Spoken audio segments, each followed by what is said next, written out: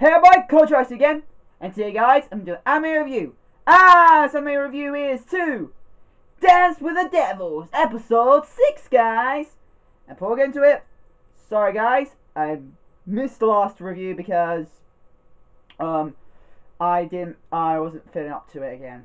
So, yeah, like I said, I did say expect that quite a bit, because like I said, uh, um, like I said, the anime for me comes out like very late, so it gets me. I get very tired. I got I did performing arts as my career as my at my college now, and yeah.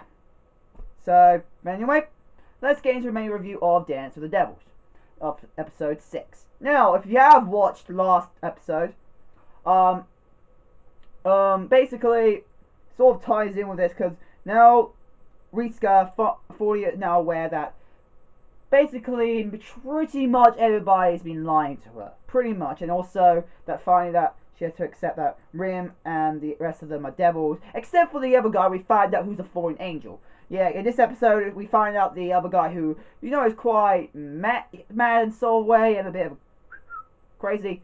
Um, who like somewhat likes pain and killing stuff. You know him. We find out he's a fallen angel. Yeah, we find he's a fallen angel. Now, he comes a big role in this episode because he goes to Ritsuka and tells her about he knows her mother is. Now, so far, to me, I believe that he sort of does know where his mother, her mother is. But yet again, I know he won't reveal it because and saying he's telling the truth. He's lying up because, yeah, he's like he said, like I said, he's a fallen angel. Usually, those kind of beings don't really try to fully bring it breath the information. But yes, in this episode, he was able to show uh, Ritsuka uh, basically her past. She was able to make her memorize her past by going through memory lane. Now, uh, her, also in this episode, um, her friend was also with her through the imagination, through her mind, trying to memorize it with, with her. Now, we find out her friend is also ex also an exorcist. Now, we already sort of guessed she was an exorcist because there was a lot of times in this series that she was um, unaffected by what the devil's been doing, and yeah.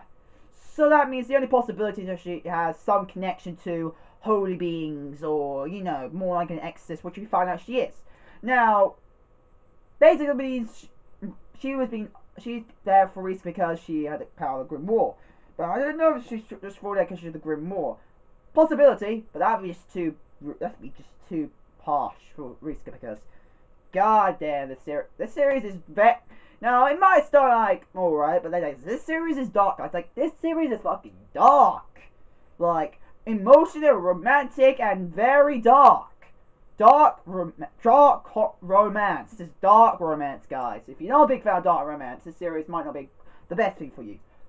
But this series is a goddamn spooky goddamn series that gets your intense, get your blood boiling to understand the information, what's going on. Now, and also in this episode, um, she needs to try to basically get grips between um, Ram and the others being like devils, fallen angels, and vampires and stuff like that. She's trying to get grips with it at the same time. Now, majority, um, like I said, in this, so basically, yeah. Now again, music let's get into music before we go into the animation. The music, guys, god damn, it's still great. The music is still great. Like I said, this series is a musical. It's a Disney anime. I have to call it a Disney anime because there's no denying it. This series, this series is what you might expect from Disney. Even though it's dark for Disney, technically this series is what you expect from a Disney um cartoon, a Disney cartoon basically this is what you expect from like them because it has music, the animation quality, how it makes you feel between the characters. Yes, no, but just guys, this series is just a very good series, and I do recommend. Like I said, I still recommend people who watch Disney who's never watched anime in their entire lives before. I don't know how it's possible because Pokemon, you stuff like that, kids for watching that's anime. But if you have never watched anime in your life, or have watched some kid anime before, but never really got into like the mainstream anime and stuff, I do say go right ahead, watch um, Dance with the Devils. even though technically I also recommend you should not watch it yet until you watch more anime because it does bring up some vibes that you more have if you have watched it before you might have to know it.